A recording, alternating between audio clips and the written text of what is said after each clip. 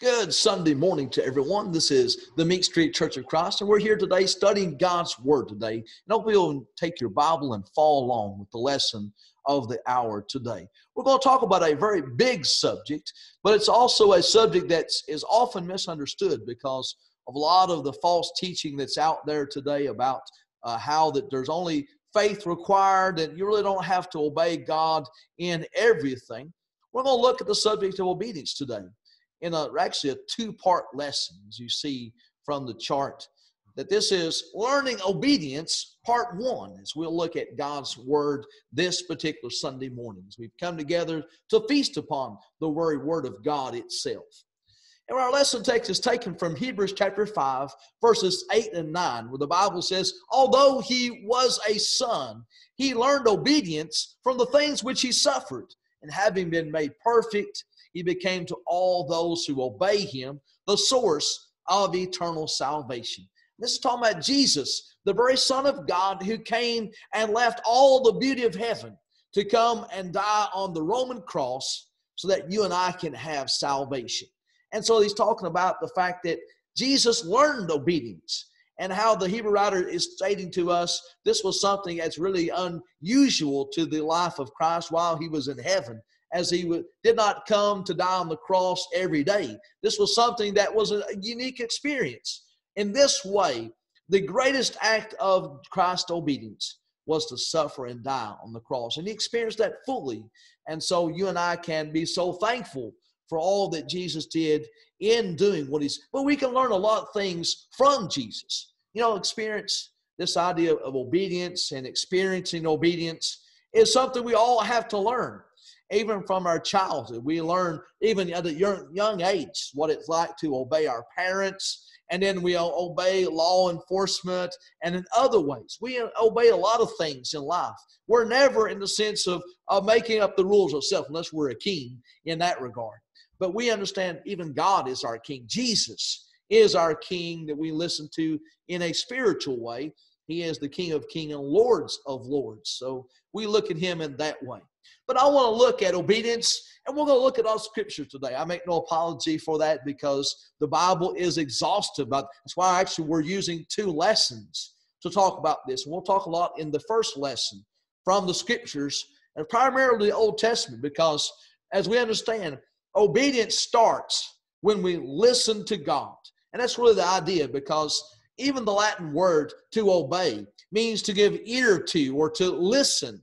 And it's also talking about the idea of listening to the intent of carefully doing what someone is saying to you to do. And so obedience starts when we listen to God. And that's the primary point of all that is that in Deuteronomy chapter 5, verse 27, Moses wrote a long time ago, Go near and hear all that the Lord our God says. Then speak to us all that the Lord our God speaks to you, and we will hear it and do it. That's what they wanted Moses to be the one who would go up and receive the law and would give them what God said. Because remember back at the time in Exodus where they were there at the mountain, they sent Moses up, and so he went. And the Bible tells us that he delayed, and then he brought down the Ten Commandments as the people of God were to come and be directed by that. So we know they were already breaking the Ten Commandments, the at least the one to not make the, any golden images or graven images. And so God wants us to hear and to listen, though. That's the point. So we want to know all what God says and listening to his words that he gives to us. In Deuteronomy chapter 18, verses 18 and, and 19, the Bible speaks here when Moses predicted about the Messiah, Jesus, would come. And the Bible says, I will raise up a prophet from among their own, their, their countrymen like you, and I will put my words in his mouth, and he will speak them uh, to all that I command him. It shall come about that whoever will not listen to the words which he shall speak in my name, I myself require it of him. This is the one they would come to listen to, the great spokesperson, the one, the prophet that God would raise up just like Moses. And it was Jesus. Moses was speaking by inspiration about the time when Jesus would come and would give all the people the words to listen to and obey in Deuteronomy chapter 31 as he's wrapping up or he's talking about the things at the end of the second giving of the second re uh, stating of the laws in Deuteronomy chapter 31, we begin by talking about some of the things Moses would say as they would gather together. You know, one of the things we do, we come together as the people of God, even today, we come together to listen to the words of God, just like they did back in the Old Testament days. They would gather together just in these occasions to listen. And we understand we don't have our ears open to what God has to say. In verse 11, the Bible says, When all Israel comes to be, appear before the Lord your God at the place which he will choose, you shall read this law in front of all Israel in their hearing. And so they were to listen to the law of God being read to them in their hearing. Verse 12 says, Assemble the people, the men and the women and the children and the alien who is in your town, that they may hear and learn and, and fear the Lord. Uh, God, as long as you live, uh, fear the Lord your God and be careful to observe all the words of this law. Their children who have not known will hear and learn to fear the Lord your God as long as you live on the land which you're about to cross the Jordan to possess. And so even their children, you know, back in that first picture of the little child in the Bible there, and he's got his hand, he's looking at scripture, maybe even for the first time. You know, we teach our children to look at the Word of God as the book of books. That is the most important book. It's the rule map, it's the road map, it's the love letter, but it's also the instruction guide of living, how to live your life. It's all those things. God wants us to know what we need to do in order to be saved and how to live the life that is acceptable to Him. And so that's why He gives us the Word, so we can listen and to do what God says for us in Matthew chapter 7 as he's concluding the Sermon on the Mount. In verses 24 to 26, he says, Therefore, everyone who hears the words of mine, who's the words from? From Jesus. He says, These words of mine and acts on them. They maybe be compared to a wise man who built his house on the rock. And the rain fell, and the floods came, and the winds blew and slammed against that house and yet it did not fall, for it had been founded on the rock. And everyone who hears these words of mine and does not act on them will be like a foolish man who built his house on the sand. He's talking about basically how we live our lives. What is the foundation of everything that we're doing? Is it built upon Jesus and his words, or is it built upon the sand that will soon pass away? As we know, Jesus wants us to have a house that stands so we sing that song about the wise and foolish man.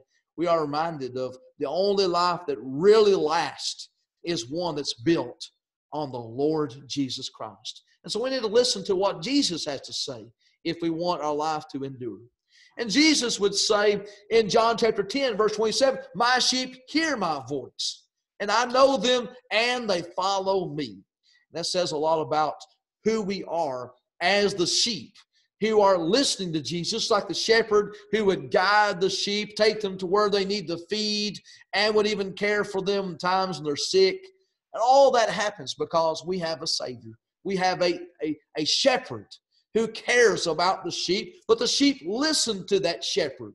They hear Jesus' voice and they follow, they know him and they and I know them and they follow me, is basically what the scripture is telling us. We have to follow Jesus. And the way we do that by listening to what he says. Even when Jesus was before Pilate, Pilate asked what truth is, and every he says, everyone who is of the truth hears my voice. John 18, verse 37. That tells us if we want to be of the truth, we have to listen to Jesus' voice. Not just an audible voice, but it's the voice from the Word of God. The four Gospels that tells us about the life of Jesus we read those passages of scripture in Matthew, Mark, Luke, and John. We're listening to the voice of Jesus and really the voice of, of Jesus and Paul as he's writing the words of Jesus and, and also other writers of the New Testament. Peter and other apostles, James, the brother of Jesus, they all tell us really what Jesus has to say to us by the inspiration of the gospel. But I also want to suggest that some things about this idea of obedience and listening to Jesus and obeying Him, I want to suggest that not listening to God is disobedience. At least it leads to that. As we don't want to listen There's times we close our ears and our minds and our hearts to God. That is disobedience. And that we can never obey God until we are fully listening to what He has to say to us. In Matthew chapter 13, verses 13 to 15, the Bible tells us there about the time when people of God were taught in parables. And this is right before the parable of the sower. Actually, he gave the parable of the sower. And in between that, he talks about why he gives the parables and, and such. He says, Therefore I speak to them in parables, because while seeing they do not see, while hearing they do not hear, nor do they understand. In their case, the prophecy Isaiah is being fulfilled, which says, You will keep on hearing, but will not understand. You will keep on seeing, but will not perceive. For the heart of hearts of this people have has become dull. With their ears they scarcely hear, and they have closed their eyes. And otherwise they would see with their eyes and hear with their ears and understand with their heart and return, and I would heal them. Jesus telling that you're not willing to listen. Those who would listen to parables and dismiss what Jesus had to say, they'd be so close-minded as those Jews, those leaders of the Jews, who did not want to listen to what Jesus had to say. They were not going to obey what Jesus said in any regard. In Acts chapter 7, verses 57, uh, verse 57 tells us here when Stephen's before the council, we're going to come back to Stephen in just a few moments. But I chose this particular verse out of what was done there because Stephen had his last discourse. He preached to them.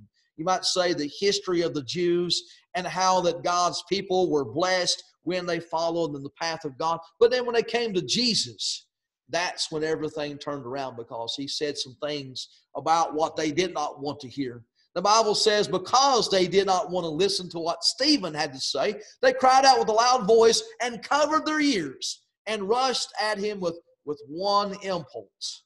The Bible tells us they rushed and they stoned him because they were not willing to listen to what he had to say in Hebrews chapter 5, verses 11 and 12. Again, the Bible tells us about this idea of being dull of hearing. And that's a sad condition. Here he's talking about God's people, the, the New Testament age, the Christians that the Hebrew writer is talking to. Says, Concerning him, we have much to say, and it is hard to explain, since you have become dull of hearing. For though by this time you ought to be teachers, you have need again for someone to teach you the elementary principles of the oracles of God and have come to need milk and not solid food. Here he's saying, I have a lot more to say, but you're not able to hear it because of your dullness of hearing. That says a lot about the condition of their ears. You know, at this point, it may not be sin per se, like it was with the Jews there, but they were on the road to apostasy in a lot of ways because that dullness of hearing, unless it's corrected, can lead to disobedience in the lives of those who were not listening to what God says. But obedience demands, though, submission to God. That's one of the great things about the idea of coming to God is submitting to Him, saying, Well, not my will, but your will be done. That's the attitude we have to have.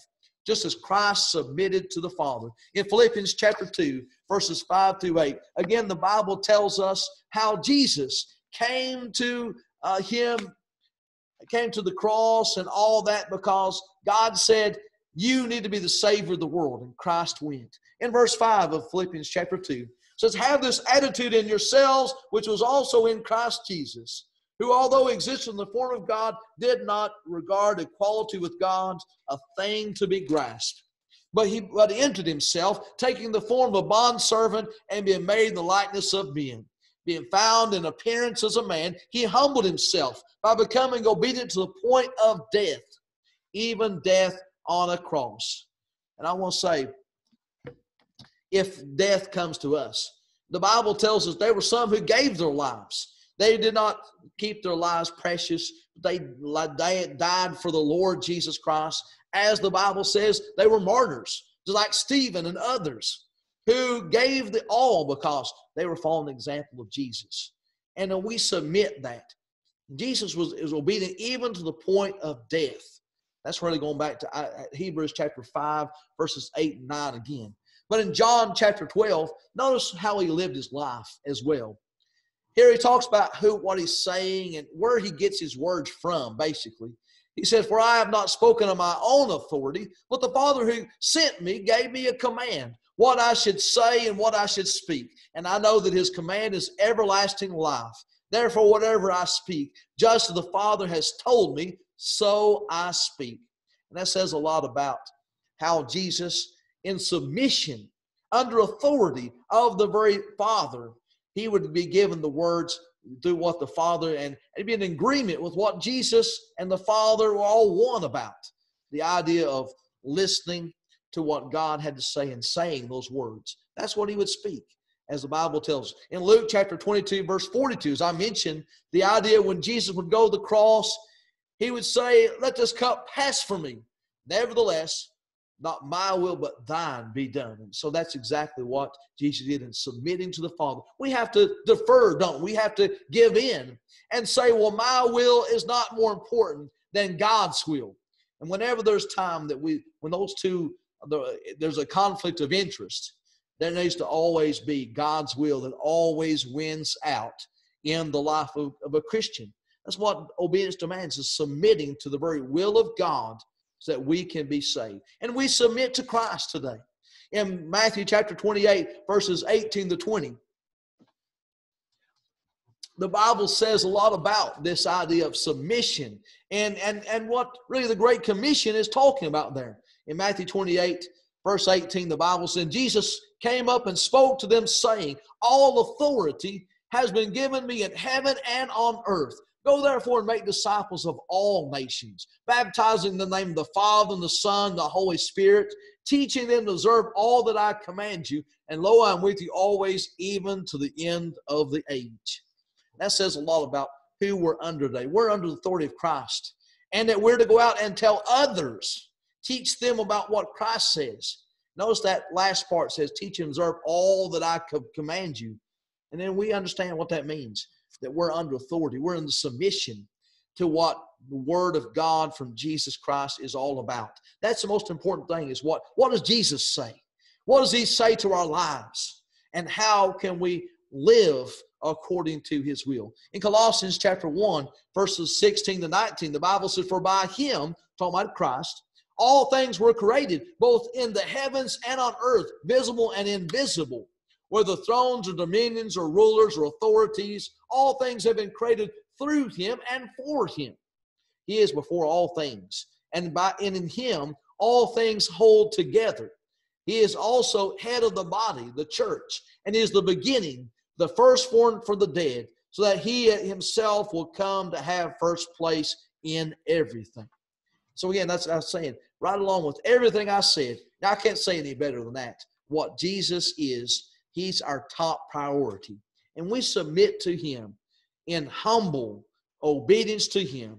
That's exactly what God's want. Eh, God wants. As it's the only way we really can. You know, we can stubbornly try to do our own will, but we'll be lost in that process. Did you know that not submitting to God is disobedience?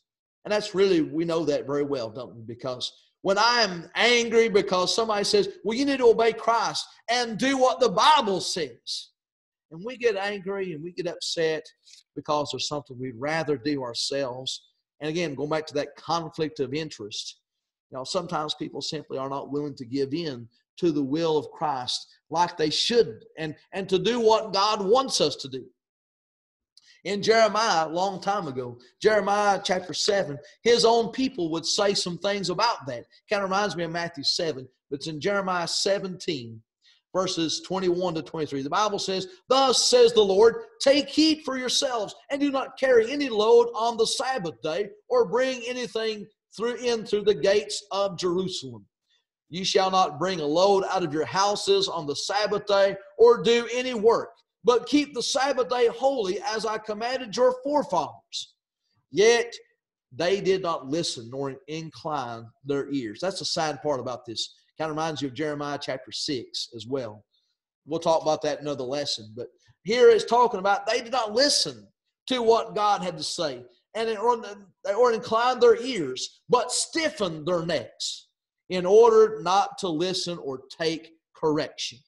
That's really the saddest part about this is the fact that they they simply were not going to listen. They were stiff necked. In other words, they weren't going to bend and yield kind of like the donkey. We understand, there's animals that sometimes are stubborn, mules and such.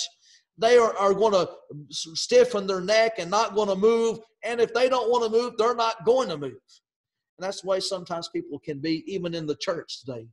Even in our times, there are people who still are stiff necked, who will not do, yield, who will not do what God says in any regard on certain matters because they are stubborn and they don't want to do what God says to do. Just like the Jews in Acts chapter 7, going back to Stephen again. In verse, verse 51, the Bible says, You men who are stiff necked and uncircumcised in heart and ears are always resisting the Holy Spirit. You are doing just as your fathers did. He's mentioned the fact that they were they had a heart problem, they had an ear problem. They weren't going to listen, they weren't going to do what God had to say. And so they resisted the Holy Spirit and they also stoned Stephen because he gave them the good words of God. In Psalm chapter 78, verse 8, again, the people of God are mentioned. It says, and, and not be like their fathers. Here's the psalmist says, a stubborn and rebellious generation, a generation that did not prepare its heart and whose spirit was not faithful to God. It all goes back to our heart, doesn't it?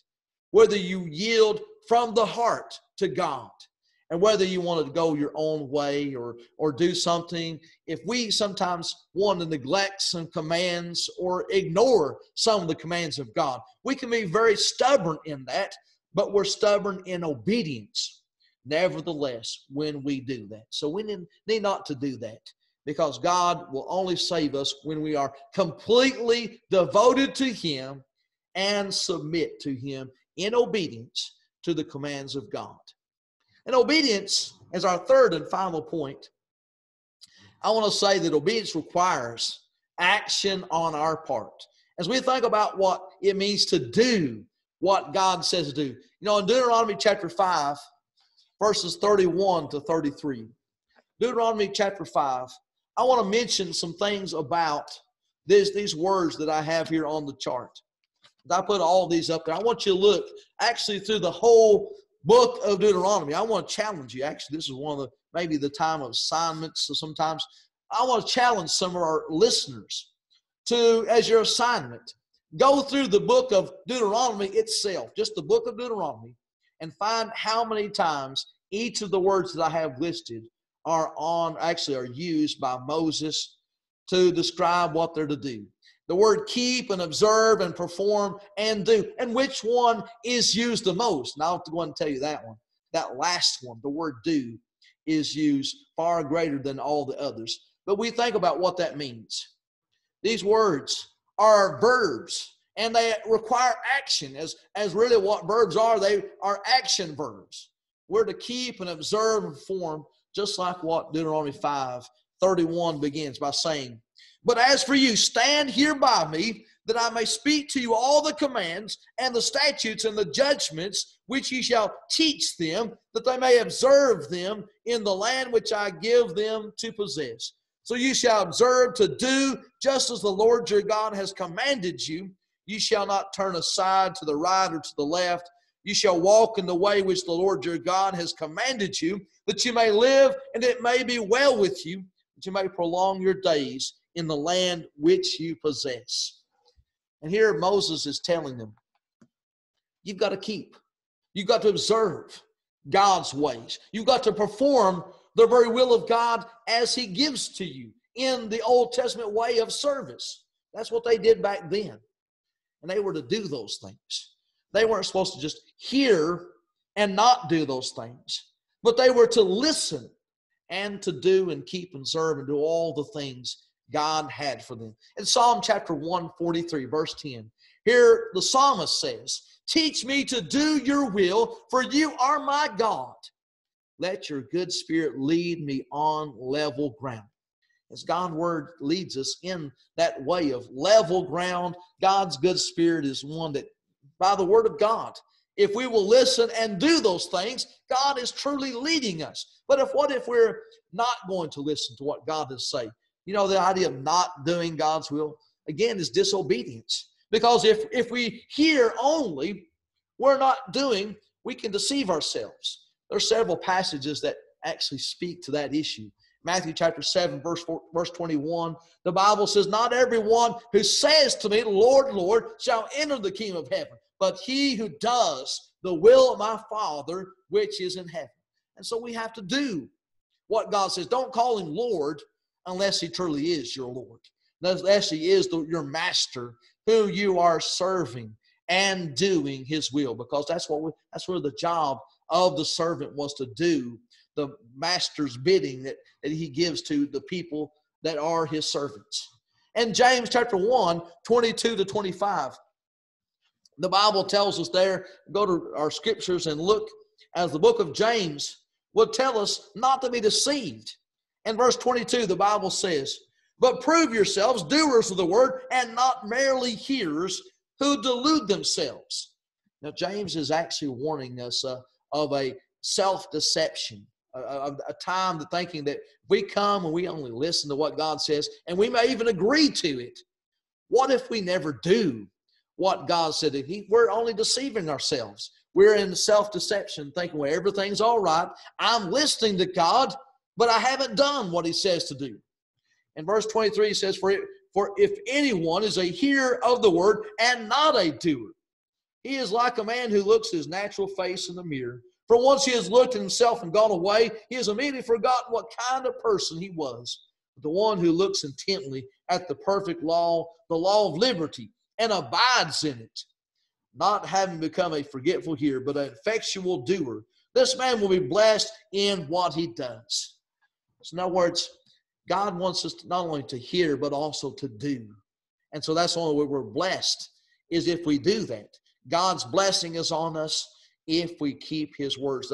James chapter 4, verse 17 also tells us that every, the one who neglects to do the very will of God or actually knows what to do that's good and neglects it. James 4 17 says, Therefore, to one who knows the right thing to do and does not do it, to him it is sin. That's one of the ways we say that sin is done, is by neglect. And we can neglect the very will of God by simply hearing it and say, Well, I know I need to do that. But maybe someday we put it off, procrastinate, or say, You know, I'll do that. You have good intentions. Yet, if we do not do what God says, we're still lost. In John chapter 8, verse 29, notice what Jesus says. As he is our example in doing the will of God and in learning obedience, he says, For I always do the things that are pleasing to him. And if we want to be Christ like, it's not Christ like to simply hear and not do. That's simply disobedience. We're not being Christ like at all because Jesus said, I always do the things that are pleasing Him. Do we, can we really say that? Unless we are able to say that, we're not the Christ like individual that we need to be as far as service to God is concerned. And our relationship, this is actually the last point of this last point, is our relationship is sustained by obedience. And that means that we need to be having obedience in order to have that relationship with God that we need to have. In John chapter 15, verses 1 and 2, begins the idea of the, the vine and the branches and all that. says, I am the true vine, and my Father is the vine dresser. Every branch in me that does not bear fruit, he takes away. And every branch that bears fruit, he prunes it so it may bear more fruit. What's this idea of taking away a branch? It means it's cut off. It's cast in the fire. Actually, what John 15 says, he takes away and, and he casts it into the fire. And but the ones who do bear fruit, what is this idea of fruit? It means the evidence of works, means of action that we do. In other words, it's something we do. It's the idea of serving God today, isn't it? We bear more fruit. We, we bear fruit and he prunes us, we can bear more fruit. And he goes on to say about this. How we know this talking about actions? Because what verses 9 and 10 is talking about it's doing the will of God here. It says, Just as the Father has loved me, I have also loved you. Abide in my love. If you keep my commandments, you will abide in my love, just as I have kept my Father's commandments and abide in his love. That's a powerful statement because people today who put down commandments and ordinances of God say, oh, there's nothing to keep today. That commandments, that was the Old Testament way of things. Well, they really don't understand what they're talking about because Jesus still has commandments. Remember John 14, 15, if you love me, keep my commandments. And so Jesus has something for us to do today in the New Testament age. And we're to follow him. And nearly this puts the nail in the coffin, as I often will say. In First John chapter 2, verses 3 and 4, I was listening to a man one time who was a denominational preacher. And he was saying, well, he was actually one of these all grace and no law people. He said, I can't really explain what First John 2, 3, and 4 is talking. You know why he couldn't he couldn't do that? Because he didn't know it. It did not, it did not add up with his theology. It was actually something that was beyond him. Think that there's commands that we are to keep today.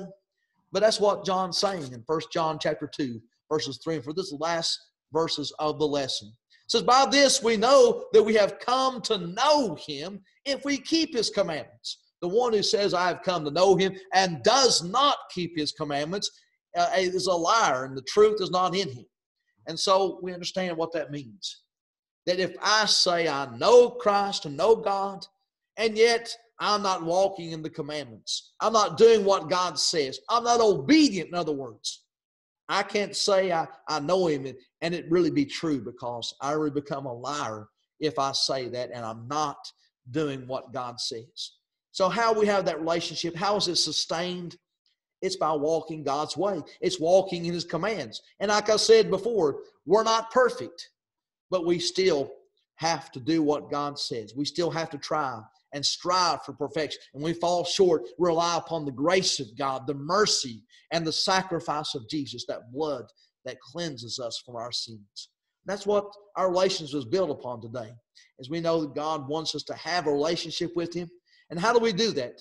It's through the Word of God, it's by our connection to Jesus as we come to Him, our Savior, by His will and His, His way of, of service to Him. I want to thank you very much for your kind attention lesson today.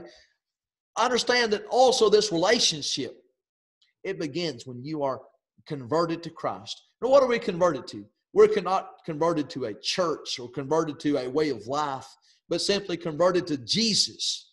I want to tell you that, that when we come to Jesus, everything changes. We walk by his ways. We are converted to Christ, but we walk in his ways. We must walk in his ways if we want to have that relationship. Everything changes when you give your life and service to Jesus.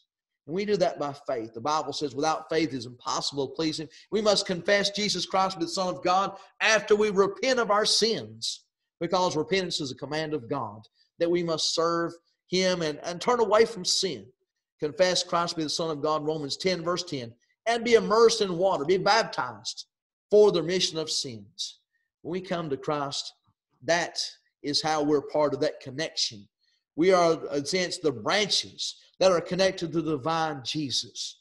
Again, like I said, I want to explain we're not converted in a sense to the church that gives salvation, but we're converted to the Christ that gives us salvation. And then the Lord adds us to his church upon our obedience to the gospel. That's what it means to obey. We'll talk more about that in the next lesson about obedience and how that all takes place as we understand God wants us to know and to do His way in His service. Thank you very much for your kind attention. Lesson of the hour today. We will now conclude our Bible study.